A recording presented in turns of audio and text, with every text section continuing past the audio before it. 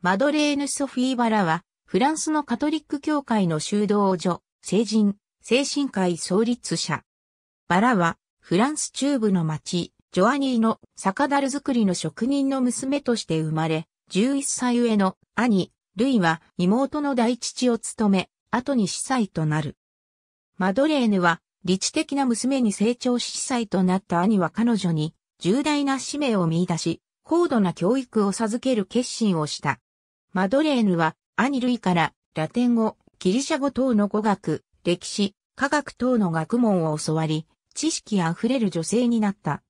フランス革命による恐怖政治で兄が逮捕され処刑されようとした時、幸いに牢獄の書記がルイの教え子であったため免れ、恐怖政治崩壊で釈放された。ルイは司祭として革命で荒廃したフランスの教会の再建に当たった。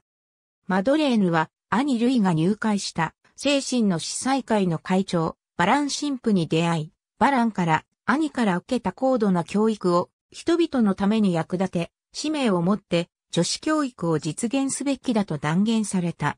カルメル会に憧れた彼女は当初、その提案に戸惑ったが後に、それが神からの使命であることを知り生涯を女子教育に捧げる決心をした。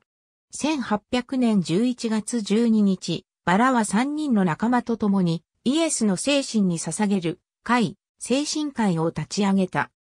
バラは最初の教育事業をアミアンで始め、経済的困難にもかかわらず、寄宿生を預かり教育を施した。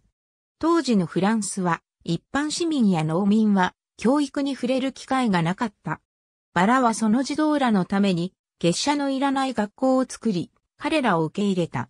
23歳で修道院長、2年後に精神科医初代総長に就任し60年間統治した。